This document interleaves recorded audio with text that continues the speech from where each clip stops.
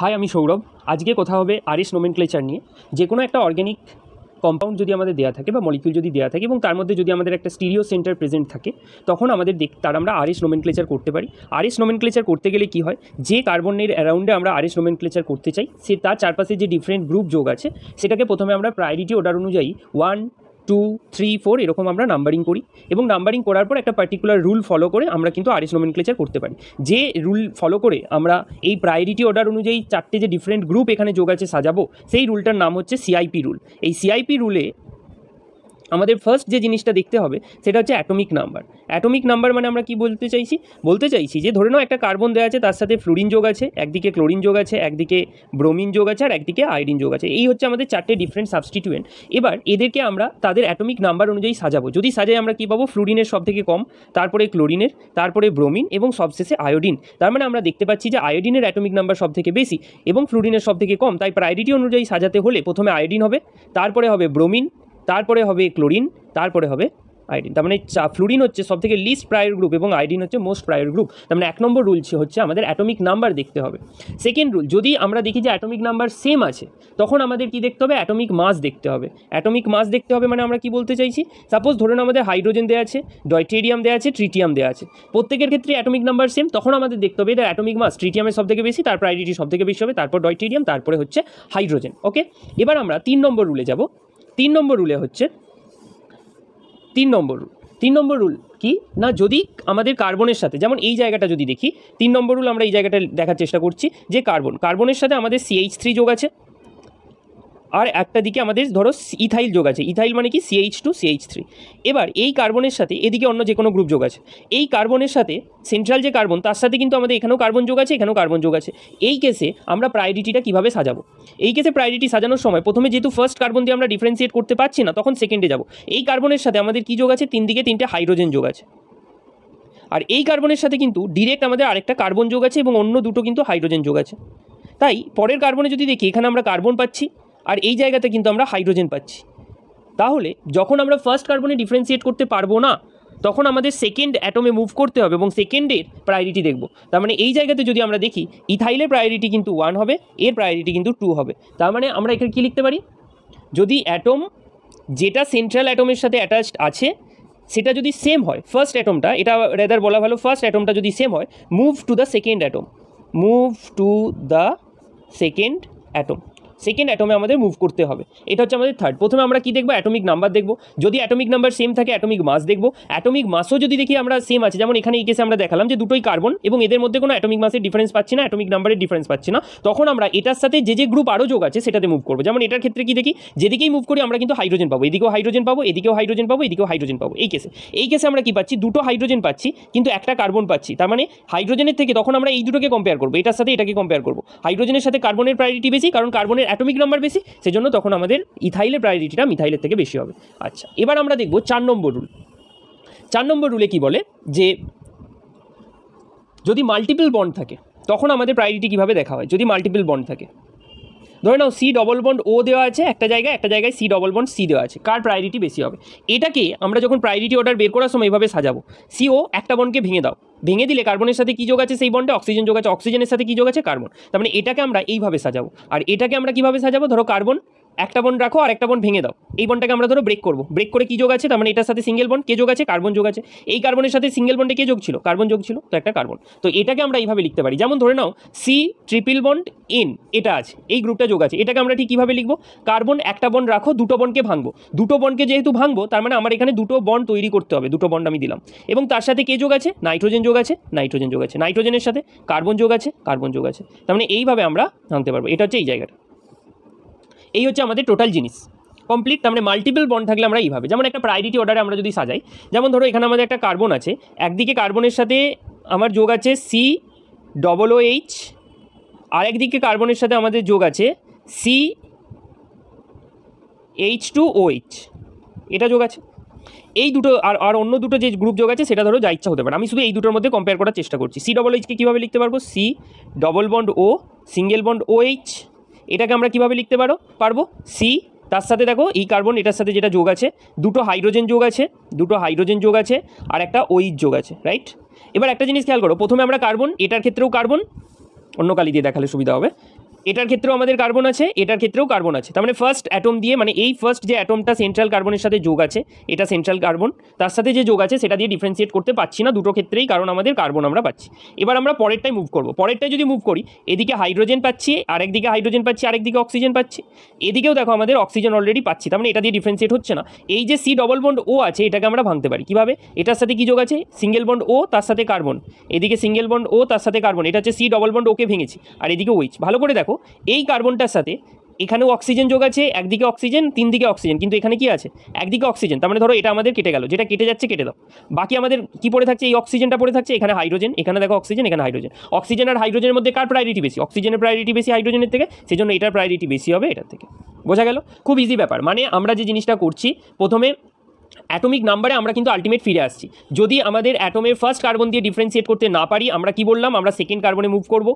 First carbon দিয়ে মানে first atom দিয়ে ডিফারেন্সিয়েট করতে পার, না পারলে। ফার্স্ট অ্যাটম মানে কি? যেটা সেন্ট্রাল অ্যাটমের সাথে যোগ আছে। সেন্ট্রাল অ্যাটম মানে কি? যার অ্যাবাউটে আমরা স্টিডিও কেমিস্ট্রিটা ডিফাইন করতে চাইছি। তখন আমরা সেকেন্ড অ্যাটমে যাব। যদি দেখি আমরা সেকেন্ড অ্যাটমে ডিফারেন্সিয়েট করতে পারছি না, তখন থার্ড অ্যাটমে যাব। এখানে আমরা কি পড়লাম? এখানে আমরা মাল্টিপল বন্ডের কেস পড়লাম। মাল্টিপল বন্ডের ক্ষেত্রে কি পড়লাম? যদি সি ডবল বন্ড ও থাকে, সেটাকে কীভাবে ভেঙে লিখতে পারি? সেটাকে কীভাবে লেখা হয়? সি ডবল বন্ড ও তার মানে একটা সিঙ্গেল বন্ড রাখো, অন্য বন্ডটাকে ব্রেক করো। ডবল বন্ড রাখব না। সেই ডবল বন্ড না রেখে কি করব? একটা সিঙ্গেল বন্ড করব। সিঙ্গেল বন্ডে কে যোগ ছিল? অক্সিজেন সেটা এখানে করা হয়েছে। অক্সিজেনের সাথে যে বন্ডটা ব্রেক করেছি তার সাথে কে যোগ ছিল? কার্বন। তো সেটাকে কার্বনটাকে এইভাবে লিখব। যেমন triple bond C triple bond N এটাকে আমরা কীভাবে লিখছি? কার্বন এন আমরা কি করেছি? প্রথমে একটা বনকে রেখে দিয়েছি, বাকি দুটো বনকে ব্রেক করেছি। এবার যে দুটো বনকে ধরো ব্রেক করব, এই দুটো বন সেই দুটো বন্ডের সাথে কে যোগ আছে? যেমন কার্বন। এই বন্ডটা আর এই বনটা আমি ব্রেক করেছি। কে যোগ আছে? তাদের সাথে কে যোগ ছিল? নাইট্রোজেন তো আমি নাইট্রোজেন লিখে দিয়েছি। যেমন নাইট্রোজেনের এই দুটো বন্ড আমি ব্রেক করেছি, এই বন্ডটা আর এই বন্ডটা কে যোগ ছিল? তাদের সাথে কার্বন যোগ ছিল। সো আমি কার্বন লিখে দিয়েছি। সিম্পল এইভাবে। এবার আমরা প্রায়োরিটি দেখছি। এখানে আমরা যেটা দেখালাম সি ডবল এইচ আর একটা সিএইচ টু ওইচের ক্ষেত্রে কীভাবে প্রায়োরিটিতে সি ডবল এইচের প্রায়োরিটি বেশি হচ্ছে সিএইচ টু ওইচের থেকে, সেটা আমরা বুঝতে পারলাম। আচ্ছা পাঁচ নম্বর আমরা আরেকটা রুল পড়ব। পাঁচ নম্বর রুলে ঠিক কী বলা হয়ে থাকে? যে যদি আমরা দেখি অ্যাটম আছে আর লোন পেয়ার আছে, সবসময় অ্যাটমের প্রায়োরিটি কিন্তু লোন পেয়ারের থেকে বেশি হবে। মানে ধরে নাও, আমাদের C double bond N H দেওয়া আছে। একদিকে আমাদের হাইড্রোজেন দেওয়া আছে, আর একদিকে নাইট্রোজেনের লোন পেয়ার দেওয়া আছে। নাইট্রোজেনের লোন পেয়ার দেওয়া আছে। অবশ্যই হাইড্রোজেনের প্রায়োরিটি লোন পেয়ারের থেকে বেশি হবে, কারণ অ্যাটমের প্রায়োরিটি লোন পেয়ারের থেকে বেশি। ছ নম্বর। ছ নম্বর, ধরে নাও সিস আর ট্রান্সের মধ্যে আমাদের ডিফারেন্সিয়েট করতে হচ্ছে, তখন সিসের প্রায়োরিটি ট্রান্সের থেকে বেশি হবে। মানে এটার একটা এক্সাম্পল দেওয়া যাক। এটার এক্সাম্পল আমরা কি দিতে পারি? ধরে নাও ধরে নাও আমরা বলতে চাইছি এই ধরনের একটা কার্বন যেমন ধরে নাও একটা কার্বন আছে, এই কার্বন এদিকে আমাদের ক্লোরিন যোগ আছে, এদিকে ব্রোমিন যোগ আছে, আর এই জায়গাতে এরকমভাবে। এদিকে মিথাইল আছে, হাইড্রোজেন আছে, আর এই দিকে ধরো হাইড্রোজেন আছে। আর এই জায়গাতে সাপোজ ধরে নাও এই রকমের জিনিস আছে। এদিকে হাইড্রোজেন আছে, এদিকে হাইড্রোজেন আছে, এদিকে মিথাইল আছে সাপোজ এই কেসে আমরা ঠিক কী পাচ্ছি? এই কেসে যেটা পাচ্ছি, আমি এটার অ্যাবাউটে স্টিরিও কেমিস্ট্রি ডিফাইন করতে চাই। তার মানে এটার অ্যাবাউটে যে চারটে সাবস্টিটিউয়েন্ট যোগ আছে, তাদের আমরা প্রায়োরিটি অর্ডারে দেবো। প্রথম কথা, এদিকে আমাদের কার্বন যোগ আছে, এদিকেও আমাদের কার্বন আছে, এদিকে ক্লোরিন এদিকে ব্রোমিন ফার্স্ট আমরা কি দেখব? অ্যাটমিক নাম্বার অ্যাটমিক নাম্বার দেখি এই কার্বন আছে, কে কে? তিনজন আছে কার্বন আছে ক্লোরিন আছে আর ব্রোমিন আছে, এই তিনটে জিনিস আছে, তার মানে যে দুটো দুটো কার্বন আছে। এই দুটোকে আমরা অ্যাটমিক নাম্বার দিয়ে আলাদা করতে পারছি না। এই ক্লোরিন আর ব্রোমিনের মধ্যে, এই চারটের মধ্যে কার্বনের অ্যাটমিক নাম্বার সব থেকে কম।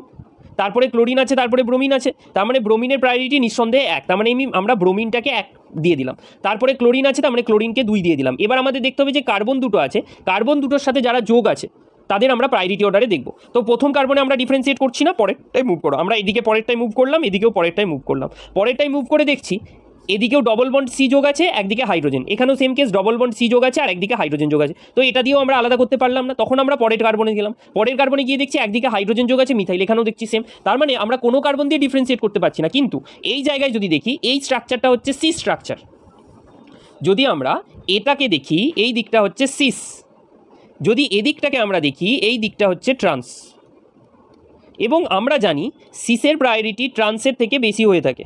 যেহেতু অন্য কিছু দিয়ে আমরা আলাদা করতে পারছি না, তখন আমরা এটা দিয়ে আলাদা করব। তার মানে সিসের প্রায়োরিটি বেশি মানে এটা তিন হবে, এটা চার হবে। তার মানে এই যে সেন্ট্রাল কার্বন যেটা ছিল, তার সাথে যে চারটে গ্রুপ যোগ ছিল, তাদেরকে দেখো আমরা প্রায়োরিটি অনুযায়ী সাজিয়ে ফেলেছি।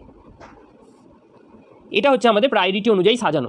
আরেকটা আমাদের রুল আছে, যেটা আপাতত লাগবে না। ঠিক আছে, আপাতত এই পর্যন্ত হলেই হয়ে যাবে। সিস ট্রান্স আরেকটা না, আরেকটা জিনিস বলে দেওয়া দরকার, যে সাত নম্বর, যদি আমাদের আর এস যেরকম এরকম সিস ট্রান্স আছে যদি ধরো যে এই কার্বনকে আমরা ডিফারেন্সিয়েট করতে চাই এদিকে ধরো আমাদের একটা এ, ক্লোরিন যোগ আছে, এদিকে ব্রোমিন যোগ আছে, এদিকে একটা কার্বন যোগ আছে, এদিকে আমাদের আরেকটা কার্বন যোগ আছে, সেটাও একটা স্টিরিও সেন্টার এবং সেটা আর প্রায়োরিটিতে যোগ আছে। এবং এদিকে যেটা যোগ আছে, সেটা হচ্ছে ধরো এস কনফিগারেশনে যোগ আছে। তখন আমরা কি দেখব? আর এর প্রায়োরিটি সবসময় এসের থেকে বেশি হয়ে থাকে। তো এটা হচ্ছে আমাদের আরেকটা রুল তার মানে আমরা টোটাল কটা রুল পড়লাম? সেভেন রুল পড়লাম।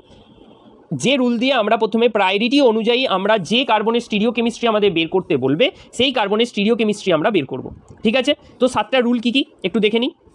এখানে যেটা বললাম আর এর প্রায়োরিটি এসের থেকে বেশি। এটা হচ্ছে সাত নম্বর রুল প্রথম রুল যেটা ছিল, যখনই কোনো একটা কার্বন দিয়ে দেবে, প্রথমে তার সেন্ট্রাল কার্বনটাকে খুঁজে বের করব, করে আমার তার চার চারটে সাবস্টিটিউয়েন্ট যে আছে, তার অ্যাটমিক নাম্বার দেখব। যদি অ্যাটমিক নাম্বার সেম থাকে অ্যাটমিক মাসে যাব। অ্যাটমিক মাস যদি সেম থাকে, প্রথম অ্যাটমটা যদি সেম থাকে, তখন আমরা সেকেন্ড তার যে সেন্ট্রাল অ্যাটমের সাথে প্রথম যে অ্যাটাচড ফার্স্ট অ্যাটমটা আছে, তার যদি সেম থাকে, আমরা সেকেন্ড অ্যাটমে মুভ করব। সেকেন্ড অ্যাটমেও যদি সব কিছু সেম পাই, তখন আমরা থার্ড অ্যাটমে মুভ করব। চার নম্বর রুলে আমরা যেটা পড়েছিলাম মাল্টিপল বন্ড থাকলে মাল্টিপল বন্ডকে আমরা কীভাবে ভেঙে লিখতে পারি, সেটা কিন্তু আমরা এই জায়গাতে দেখার চেষ্টা করেছি, সেটা আমরা বুঝেছি। পাঁচ নম্বর রুলে আমরা যেটা পড়লাম, যে অ্যাটোম আর লোন পেয়ার যদি থাকে অ্যাটোমের প্রায়োরিটি সবসময় লোন পেয়ারের থেকে বেশি। ছ নম্বর রুলে আমরা যদি পড়লাম, একদিকে যদি সিস ফর্ম অন্যদিকে যদি ট্রান্সফর্ম থাকে সিস ফর্মের প্রায়োরিটি অলওয়েজ ট্রান্সফর্মের থেকে বেশি হবে। সাত নম্বর রুলে যদি আমরা পড়লাম, একদিকে যদি আর ফর্ম থাকে, একদিকে যদি এস ফর্ম থাকে আর ফর্মের প্রায়োরিটি অবশ্যই এস ফর্মের থেকে বেশি হবে। এবার আমরা কয়েকটা কোয়েশ্চেন করার চেষ্টা করি। সাপোজ আমাদের এখানে একটা এক নম্বর কোয়েশ্চেন সেখানে ধরে নাও একটা এরকম কার্বন দেওয়া আছে।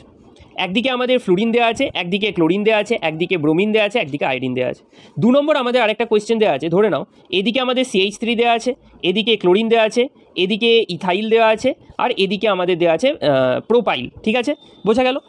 এই দুটোর ক্ষেত্রে আমরা প্রথমে প্রায়োরিটি অর্ডার অনুযায়ী এদেরকে সাজানোর চেষ্টা করি। এটা তো খুব ইজি অলরেডি আমরা করে ফেলেছি। যদি অ্যাটমিক নাম্বার অ্যাটমিক নাম্বার অনুযায়ী সাজাই, তার মানে ফ্লুরিনের সব থেকে কম আয়োডিনের সব থেকে বেশি আয়োডিন এক হবে, তারপরে ব্রোমিন হবে, তারপরে ক্লোরিন হবে, তারপরে ফ্লোরিন হবে। এটাকে যদি প্রায়োরিটি অর্ডার অনুযায়ী সাজাই, কী হবে? দেখো এদি ইথাইল আছে। ইথাইল মানে কি? ইথাইল মানে এটাকে ভেঙে লিখতে পারি সিএইচ টু সিএইচ থ্রি এভাবে যোগ আছে। প্রোপাইলকে ভেঙে কীভাবে লিখতে পারি? CH two CH two CH three এটা যোগ আছে। মিথাইল ক্লোরিন এদের মধ্যে এখানে ফার্স্ট কার্বন কি? কার্বন এটার ক্ষেত্রেও কার্বন এটার ক্ষেত্রেও কার্বন তো ক্লোরিনের প্রায়োরিটি সব থেকে বেশি এক আমার, আমি লিখে দিলাম। সেকেন্ড কি? ফার্স্ট কার্বন দিয়ে ডিফারেন্সিয়েট করছি না। এটার ক্ষেত্রে সেকেন্ড কার্বন দেখো তিনটেই হাইড্রোজেন এটার ক্ষেত্রে দেখো সেকেন্ড কার্বন কার্বন এটার ক্ষেত্রে দেখো সেকেন্ড কার্বন কার্বন তার মানে এটার প্রায়োরিটি সব থেকে কম হবে, তার মানে এটা চার নম্বর। দুই তিন এদের দুজনের মধ্যে হবে। এটার ক্ষেত্রে সেকেন্ড কার্বনে মুভ সেকেন্ড অ্যাটমে মুভ করলাম, সেটা কার্বন হচ্ছে। এর ক্ষেত্রে সেকেন্ড অ্যাটমে মুভ করলাম, সেটা কার্বন হচ্ছে। এর ক্ষেত্রে থার্ড অ্যাটমে হাইড্রোজেন ছাড়া কিন্তু কোনো অপশন নেই। থার্ড অ্যাটমে শুধুই হাইড্রোজেন এটার ক্ষেত্রে কিন্তু থার্ড অ্যাটমে যাওয়ার সময় একটা কার্বনের অপশন পাচ্ছি। তার মানে এটার প্রায়োরিটি হবে দুই, এটার প্রায়োরিটি হবে তিন। তার মানে আমরা এটার ক্ষেত্রেও কিন্তু প্রায়োরিটি অর্ডার অনুযায়ী সাজিয়ে ফেলতে পারলাম। এটা হচ্ছে এক নম্বর, এটা দু নম্বর, এটা তিন নম্বর আর এটা হচ্ছে চার নম্বর। বোঝা গেল? এবার আমরা একটা জিনিস শিখলাম, যখনই আমরা প্রায়োরিটি অনু আর একটা জিনিস শিখে নিই, যদি আমাদের কার্বনের এই ফ্লাইং বেজ পজিশন দেওয়া থাকে, ওটা আমরা শিখলাম যদি আমাদের ফিসার প্রজেকশন দেওয়া থাকে। এবার আমরা শিখছি যদি ফ্লাইং বেজ পজিশন দেওয়া থাকে, ধরে নাও একদিকে আমাদের দেওয়া আছে এনএইচ টু এদিকে ধরে নাও এনএইচ টু দেওয়া আছে, এদিকে ধরে নাও সিও টু এইচ দেওয়া আছে, এদিকে হাই এদিকে ধরে নাও হাইড্রোজেন দেওয়া আছে আর একদিকে ধরে নাও সিএইচ টু এসএইচ দেওয়া আছে। এদেরকে প্রায়োরিটি অনুযায়ী কীভাবে সাজাবো? প্রথম কথা, আমরা দেখব ডিরেক্ট কে যোগ আছে। এটা হচ্ছে সেন্ট্রাল ডিরেক্ট কে যোগ আছে, একদিকে হাইড্রোজেন যোগ আছে। ডিরেক্ট কে কে যোগ আছে? ডিরেক্ট প্রথমে এইভাবে লিখতে পারি। ডিরেক্ট একটার ক্ষেত্রে নাইট্রোজেন যোগ আছে, এটার ক্ষেত্রে কার্বন যোগ আছে, এটার ক্ষেত্রে কার্বন যোগ আছে, এটার ক্ষেত্রে হাইড্রোজেন যোগ আছে। এটা হচ্ছে ডিরেক্ট এরা যোগ আছে। তার মানে আমরা অভিয়াসলি এদের মধ্যে যদি প্রায়োরিটি অনুযায়ী সাজাই, এটা চার নম্বর হবে। কার্বন এবং নাইট্রোজেন, বোরন, কার্বন, নাইট্রোজেন। নাইট্রোজেনের বেশি, তার মানে এটা এক নম্বর হয়ে যাবে। এবং এদের দুজনের মধ্যে দুই আর তিনটা আমাদের লুকিয়ে আছে। যদি সি ডবল এইচ দেখি সি ডবল এইচের ক্ষেত্রে আমরা এটাকে ভেঙে কীভাবে লিখতে পারি একটু দেখে নাও। ভেঙে আমরা এইভাবে লিখতে পারি, carbon double bond O single bond O H আছে। এই ডবল বন্ড ও যেটা দেওয়া আছে ডবল বন্ড ও সেটাকে আমরা আরও ভেঙে কি লিখতে পারি? আরও ভেঙে আমরা এইভাবে লিখতে পারি, এইখানটায় লিখছি সি একদিকে ও এইচ দেওয়া আছে আর ডবল বন্ড ওটাকে, একটা বন্ডকে ভাঙলাম, এই বন্ডটাকে ভাঙলাম, ভেঙে নিচে লিখলাম, তার সাথে কি যোগ ছিল? অক্সিজেন তো এইভাবে আমরা লিখতে পারি। এই অক্সিজেনের সাথে কার্বন এই অক্সিজেনের সাথে কার্বন বোঝা গেল? সি ডবল বন্ড ওটাকে ভেঙে আমরা এই পার্টটা কীভাবে লিখতে পারি, বোঝা গেছে? কীভাবে? প্রথমে একটা সিঙ্গেল বন্ড রেখেছি। একটা সিঙ্গেল বন্ড রেখেছি, অন্যটাকে ব্রেক করেছি, এটাকে ব্রেক করেছি। ব্রেক করে আমরা নিচে রেখেছি, কে যোগ ছিল? অক্সিজেন অক্সিজেন লিখে দিয়েছি। এবার এই অক্সিজেনের সাথে কে যোগ ছিল? কার্বন সেটাকে আমরা লিখে দিয়েছি। এই অক্সিজেনের সাথে কে যোগ ছিল? কার্বন সেটাকে আমরা লিখে দিয়েছি। বোঝা গেল? আচ্ছা। আচ্ছা এই জায়গাটাতে না এই কার্বনটা হবে না। কেন? বুঝতে পারছ? দেখো, কার্বনের সাথে ডবল বন্ড ও ছিল। তো কার্বনের সাথে ডবল বন্ড ও যেটা ছিল, একটা বন্ডকে ব্রেক করেছি, একটা বন্ড ও রেখেছি। ও রেখেছি। এবার কার্বনের সাথে যে বনটা ব্রেক করলাম, সেটা নিচের দিকে ও লিখে দিলাম। আর ওপরে অক্সিজেনের সাথে যে বনটা ব্রেক করেছিলাম, সেটা সিঙ্গেল বন কার্বন লিখে দিলাম। তো এখানে আরেকটা কার্বন সেটা হবে না। তো আমরা সি ডবল এইচের ক্ষেত্রে তিনটে যে গ্রুপ যোগ আছে, তারপরে কী কী যোগ আছে? এটা হচ্ছে ফার্স্ট ফার্স্ট এটা হচ্ছে ফার্স্ট কার্বনের সাথে সেন্ট্রাল অ্যাটমের সাথে। এবার এটা হচ্ছে সি ডবল এইচের ক্ষেত্রে, কে কে যোগ আছে? অক্সিজেন যোগ আছে অক্সিজেন যোগ আছে অক্সিজেন যোগ আছে। এবার সিএইচ টু এসএইচ এর ক্ষেত্রে আমরা দেখব। সিএইচ টু এসএইচ এর ক্ষেত্রে কে যোগ আছে? কার্বন। এটা আমরা এইদিকে দেখছি। কার্বন, তার সাথে একদিকে এসএইচ যোগ আছে আর একদিকে দুটো হাইড্রোজেন যোগ আছে। ভালো করে দেখো। এটা হচ্ছে সিএইচ টু এইচ মানে কে কে যোগ আছে? একটা হচ্ছে সালফার যোগ আছে আর দুটো হাইড্রোজেন যোগ আছে। এবার সেকেন্ড কার্বনে যখন আমরা মুভ করব, এবার আমাদের কাছে কোয়েশ্চেন হতে পারে, যদি আমরা হাইড্রো সেকেন্ড অ্যাটম হিসাবে আমরা হাইড্রোজেনকে ধরে নিই, তাহলে অবশ্যই এটার প্রায়োরিটি বেশি হয়ে যাবে সি ডবল এইচের প্রায়োরিটি বেশি হয়ে যাবে, এটার প্রায়োরিটি কম হয়ে যাবে। কিন্তু সেকেন্ড অ্যাটম হিসাবে আমরা সেটাকেই ধরবো, যেটা এই তিনটের মধ্যে যেটার প্রায়োরিটি বেশি। কার প্রায়োরিটি বেশি এই তিনটের মধ্যে? সালফারে। তো আমরা এটাকে কনসিডারেশন মানে ধরে নাও, এ একটা গ্রুপ আছে, বি একটা গ্রুপ আছে। এ গ্রুপ থেকে প্রতি স্টেজে একজন করে খেলোয়াড় আসবে একজন করে খেলোয়াড় আসবে বি থেকে একজন করে খেলোয়াড় আসবে, যাদের মধ্যে লড়াই হবে বা প্রতিযোগিতা হবে। প্রত্যেকটা স্টেপে এ কি চাইবে? এ চাইবে তার সব থেকে যে শক্তিশালী আছে তাকে পাঠানো। বি কি চাইবে? তার গ্রুপে যে সব থেকে শক্তিশালী তাকে পাঠানো এখানেও সেম হচ্ছে। এই তিনজনের মধ্যে সেকেন্ড অ্যাটম হিসাবে এই কাকে পাঠাবে? যে তাদের মধ্যে সব থেকে শক্তিশালী কে? সালফার। এদের ক্ষেত্রে তিনজনেই সমান শক্তিশালী, তাই যে কেউ আসবে, এবার অক্সিজেন আর সালফারের মধ্যে দ্বন্দ্ব হবে। কে জিতবে? সালফার জিতবে, কারণ সালফারের অ্যাটমিক নাম্বার বেশি, তো এটার প্রায়োরিটি বেশি হয়ে যাবে। তার মানে এক নম্বর প্রায়োরিটি ছিল এনএইচ টু দু নম্বর চার নম্বর ছিল হাইড্রোজেন দু নম্বর হয়ে যাবে সিএইচ টু এসএইচ তিন নম্বর হয়ে যাবে সি ডবল এইচ বোঝা গেল? আমরা কীভাবে করলাম? আমাদের দেখে দেখে যেতে হবে যে ফার্স্ট অ্যাটম কী যোগ আছে, তারপরে সেকেন্ড মোস্ট প্রায়র অ্যাটম কী যোগ আছে, তারপরে দেখতে হবে যদি সেকেন্ডটাও সেম হয়, তখন আমরা থার্ডে যেতে হবে। বোঝা গেল? এই হচ্ছে আমাদের টোটাল কীভাবে আমরা প্রায়োরিটি অনুযায়ী সাজাবো। এর পরের স্লাইডে আমরা যেটা দেখব, যখনই আমরা ওয়ান টু থ্রি ফোর এই প্রায়োরিটি অনুযায়ী সাজালাম তখন আমাদের একটা জিনিস, দুটো ফর্মুলা জাস্ট মনে রাখতে হবে। একটা হচ্ছে ভিসিআর একটা হচ্ছে এইচ সিএস ভিসিআরটা কী বোঝায়? ভিসিআরটা বোঝায় চার নম্বর গ্রুপটা যদি ভার্টিক্যাল পজিশনে থাকে। এটা আমি কার রেসপেক্টে বলছি? যদি ফিসার প্রজেকশানে ফিসার প্রজেকশানে আমাদের এটা দিয়ে দেওয়া থাকে। ফিসার প্রজেকশন মানে কি বলতে চাইছি? যদি এই পজিশনে আমাদের কাইরাল সেন্টারগুলোকে এক্সপ্রেস করা হয়ে থাকে। এই পজিশনে ফিসারে যদি ফ্লাইং ভেজ ফ্লাইং ভেজ মানে এই পজিশন এটাকে আমরা কি বলে থাকি? ফ্লাইং ভেজ বলে থাকি? যদি এটাতে দেওয়া থাকে তখন সেটা আলাদা হবে, সেটা আমরা পরে বলছি। প্রথমে আমরা ফিসারটা বললাম। ফিসারে কি বলছি? যদি ফিসার প্রজেকশনে আমাদের মলিকিউলটা দিয়ে দেওয়া থাকে, আমাদের দুটো রুল ফলো করতে হবে। ভার্টিক্যাল পজিশনে প্রথমে দেখতে হবে চার নম্বর প্রায়ের গ্রুপটা কোন দিকে আছে। সেটা ভার্টিক্যাল পজিশনে আছে নাকি হরিজন্টাল পজিশনে আছে? যদি চার নম্বর প্রায়ের গ্রুপটা ভার্টিক্যাল পজিশনে থাকে, তাহলে আমরা যদি C for clockwise clockwise যদি আমরা মুভ করি, তাহলে সেটাকে আর বলব। আর যদি চার নম্বর প্রায়ের গ্রুপটা হরিজন্টাল পজিশনে থাকে এবং আমরা যদি ক্লকওয়াইজ মুভ করি মানে চার নম্বর প্রায়ের গ্রুপটা হরিজন্টালে যদি থাকে এবং আমরা যদি ক্লকওয়াইজ মুভ করি, তাহলে যেটা পাবো সেটা হচ্ছে এস খুব সহজে আমরা মনে রাখতে পারি। একটা হচ্ছে ভিসিআর একটা হচ্ছে এইচ এস সহজ কথা। এটা জাস্ট মনে রাখো তাহলে হয়ে যাবে। ভার্টিক্যাল ক্লকওয়াইজ আর হরিজন্টাল ক্লকওয়াইজ এস এবার উল্টো, যদি আমাদের, এবার এই ঘোড়াটা বলতে আমি কি বোঝাতে চাইছি? বলতে বোঝাতে চাইছি এক হয়ে দুই, দুইয়ে যাব, তারপরে তিনে যাব। তারপরে আমরা চারে যাব মানে এক থেকে দুই দুই থেকে তিন হয়ে চার। এদিকে যেতে যদি আমরা ক্লকওয়াইজ মুভ করি, এর ঠিক উল্টো। যদি ভার্টিক্যালে অ্যান্টি ক্লকওয়াইজ আমরা ঘুরি, তাহলে এটা যদি vertical anticlockwise S horizontal anticlockwise ঠিক উল্টো, আর, বোঝা গেল? এই এটা ইউজ করে আমরা এবার এটা করে থাকি। সাপোজ ধরে নাও এখানে। ধরে নাও এটা। এটার ক্ষেত্রে আমরা কি দেখেছি? এটা। এটার ক্ষেত্রে আমরা কি দেখেছি? এক নম্বর আর চার নম্বর। প্রথমে চার নম্বর প্রায়ের গ্রুপটার দিকে লক্ষ্য করো। সেটা কোথায় আছে? ফ্লুরিন হরিজন্টাল পজিশনে আমরা অরিজন্টাল হরিজন্টাল যখনই পেয়ে গেলাম, আমরা রুলটা লিখে নিলাম এইচ সি এস এটা হচ্ছে আমাদের রুল এবার আমরা দেখব যে ক্লকওয়াইজ ঘুরছে না অ্যান্টি ক্লকওয়াইজ এক। এক থেকে শুরু করো, দুই হয়ে তিন। এক থেকে শুরু করে দুই হয়ে তিনে গেলে আমরা কীভাবে ঘুরছি? এটা এটা কোন দিকে ঘুরছে? ক্লকওয়াইজ তার মানে এটার কনফিগারেশনটা কী হবে? এস হয়ে যাবে। এটার ক্ষেত্রে যদি দেখি, এটা চার নম্বর প্রায়ের গ্রুপটা কোথায় আছে? এটা চার নম্বর প্রায়ের গ্রুপটাও কিন্তু আমাদের হরিজন্টালে আছে। এবার এক থেকে দুই হয়ে তিন। এক, এখানে এক শুরু হচ্ছে, এই যে এক।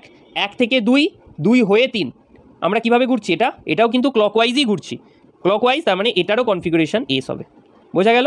আচ্ছা পরেরটা যদি আমরা দেখি। আচ্ছা পরেরটা আমরা ফ্লাইং বেজের একটা এক্সাম্পল দেখে নিই। ফ্লাইং বেজের ক্ষেত্রে আমাদের যেটা মনে রাখতে হবে ফ্লাইং বেজ পজিশনে সব সময়, ধরো এটা আমাদের একটা এ গ্রুপ এটা ধরো বি গ্রুপ এটা ধরো সি গ্রুপ এটা হচ্ছে আমাদের ডি গ্রুপ এবার আমরা বলেছিলাম কি প্রথম কাজ হচ্ছে এদেরকে প্রায়োরিটি অনুযায়ী সাজানো। আমরা ধরে নিলাম এটার প্রায়োরিটি ওয়ান এটার প্রায়োরিটি দুই, এটার প্রায়োরিটি তিন, এটার প্রায়োরিটি চার। আমাদের যে কাজটা হবে সবসময় দেখতে হবে চার নম্বর প্রায়ের গ্রুপটা ড্যাশে আছে কিনা ড্যাশ পজিশনে আছে কিনা। যদি সেটা ড্যাশ পজিশনে থাকে, তখন আমরা ওয়ান থেকে টু হয়ে থ্রি যেরকম মুভ করছি, সেরকম আমরা ঘুরবো। ঘুরলে যদি আমরা ভিসিআর রুলটা ফলো করব ভিসিআর রুলটা এখানে ফলো করব। যদি ক্লকওয়াইজ ঘুরি আর বলব, যদি অ্যান্টি ক্লকওয়াইজ এস বলব। মানে এক্সাম্পল কি বলতে চাইলাম? প্রথমে আমরা লক্ষ্য করব চার নম্বর প্রায়ের গ্রুপটা ড্যাশ পজিশনে আছে কি না যদি চার নম্বর প্রায়ের গ্রুপটা ড্যাশ পজিশনে না থাকে, আমরা সেটাকে ড্যাশ পজিশনে নিয়ে যাব। নিয়ে গিয়ে আমরা কিন্তু নোমে আর বা এস এই জিনিসটা করার চেষ্টা করব। বোঝা গেল? ভালো করে দেখো, যদি ড্যাশ পজিশনে সেটা থাকে, তাহলে আমরা এক থেকে দুই হয়ে তিন, যেমন এটা ধরো ড্যাশ পজিশানে আছে এক থেকে দুই হয়ে তিন, আমরা কীরকম মুভ করছি? অ্যান্টি ক্লকওয়াইজ আমরা কি বলেছি? এটার ক্ষেত্রে ভিসিআর রুল ফলো করব। যদি ক্লকওয়াইজ হয়, তার মানে আর ভিসিআর মানে ক্লকওয়াইজ হলে আর হয়, এখানে অ্যান্টি ক্লকওয়াইজ ঘুরছি, তার মানে এস হবে, তার মানে এটার কনফিগারেশন এস হবে। যেমন এখানে আমাদের এক্সাম্পল যেটা দেওয়া ছিল এটা। এটার ক্ষেত্রে দেখো, চার নম্বর প্রায়ের গ্রুপটা কোথায় আছে? চার নম্বর প্রায়ের গ্রুপটা কিন্তু ড্যাশ পজিশনে নেই। তাহলে এটার ক্ষেত্রে আমাদের কাজ কি হবে? চার নম্বর প্রায়ের গ্রুপটাকে ড্যাশে নিয়ে আসা। ড্যাশে নিয়ে আসা মানে কি বলতে চাইছি? আমরা আরেকটা জিনিস আমরা খেয়াল করব যে আমরা এই জিনিসটা, যে এখানে আমাদের কি ছিল? কার্বন কার্বনে আমরা কি দেখেছিলাম? এদিকে ছিল হাইড্রোজেন এদিকে আমাদের একটা গ্রুপ ছিল, দেখে নিই, এখানে কে ছিল? এনএইচ টু ছিল C double H CH two SH এদিকে আপ, এদিকে ছিল সি ডবল ও এইচ আর এদিকে ছিল সিএইচ টু এসএইচ আর এই দিকে আমাদের ছিল হাইড্রো এনএইচ টু ঠিক আছে? এই কার্বন, কার্বনের সাথে এইদিকে হাইড্রোজেন ছিল। আমরা প্রায়োরিটিতে কী সাজিয়েছিলাম? এটা হচ্ছে চার নম্বর, এটা এক নম্বর, এটা হচ্ছে তিন নম্বর, এটা হচ্ছে দু নম্বর। এবার আমরা যদি দেখি, চার নম্বর প্রায় গ্রুপটা কিন্তু আমাদের বিলো দ্য প্লেন বা ড্যাশ পজিশানে নেই, আমাদের ড্যাশে নিয়ে আসতে হবে। তো এই দুটোকে ইন্টারচেঞ্জ করব। ইন্টারচেঞ্জ করলে আমরা কি পাবো? এই দিকখানে সিএইচ টু এসএইচ পেয়ে যাব। এইখানে এনএইচ টু যেরকম ছিল থেকে যাবে, এই জায়গাতে সি ডবল এইচ যেরকম ছিল থেকে যাবে, এই জায়গাতে ড্যাশ পজিশানে এবার কিন্তু হাইড্রোজেন পেয়ে গেলাম। এবার আমাদের কাজ হবে কি? না, এক, দুই, তিন, চার করা। এটা প্রায়োরিটি ওয়ান এটার প্রায়োরিটি টু এটার প্রায়োরিটি থ্রি এটার প্রায়োরিটি ফোর চার নম্বর প্রায়ের গ্রুপটা ড্যাশ পজিশানে পেয়ে গেছি। এবার আমরা এক, দুই, তিন মুভ করব। এক, দুই, তিন মুভ করলাম, আমরা কীরকম ঘুরলাম? ক্লক ওয়াইজ ক্লক ওয়াইজ ঘুরলাম, আমরা কি বলেছিলাম? ভিসিআরের মতো। ভিসিআরে কী হয়? ক্লকওয়াইজে আর হয়? তার মানে এটা কি হলো? আর হলো। এটার কনফিগারেশন আর হলো। ভালো করে খেয়াল করো, এখানে কিন্তু আমরা একটা ইন্টারচেঞ্জ করেছিলাম। কি ইন্টারচেঞ্জ হাইড্রোজেনের সাথে সিএইচ টু এসএইচ এর ইন্টারচেঞ্জ করেছিলাম। তার মানে যদি একটা ইন্টারচেঞ্জ করে এটাতে পৌঁছেছি, তার মানে এটা যেহেতু আর পেয়েছি, এটার কনফিগারেশন এস হবে। বোঝা গেল? যেহেতু এটা আর পেয়েছি, একটা ইন্টারচেঞ্জ করেছি, তাহলে এটা এস হবে। অড নাম্বার অফ ইন্টারচেঞ্জ যদি করতে হয় অড নাম্বার অফ ইন্টারচেঞ্জ করলে আমাদের আর থাকলে এস হয়ে যায় এস থাকলে আর হয়ে যায়। আর যদি আমরা ইভেন নাম্বার অফ ইন্টারচেঞ্জ করি ইভেন নাম্বার অফ ইন্টারচেঞ্জ করি, তাহলে আমাদের কি হয়? আর যদি আমরা পাই আরই থাকবে অরিজিনালের এস যদি পাই অরিজিনাল যে কম্পাউন্ডটা ছিল, তার এসি থাকবে। এটা হচ্ছে আমাদের আরেকটা জিনিস। বোঝা গেল? এই হচ্ছে টোটাল আর এস কনফিগারেশন এখানে কিন্তু পুরো শেষ হয়নি। নেক্সট ক্লাসে আমরা যেটা করব, সেটা হচ্ছে আমরা আরও এক্সাম্পল প্র্যাকটিস করব। আমরা আরও কয়েকটা সিস্টেমের ক্ষেত্রে আর এস নোমেনক্লেচারের এটা শিখব। এক্সাম্পল প্লাস আরও কয়েকটা সিস্টেম শিখব। তো ততদিন সবাই ভালো থেকো সুস্থ থেকো দেখা হচ্ছে পরের ভিডিওতে। টাটা।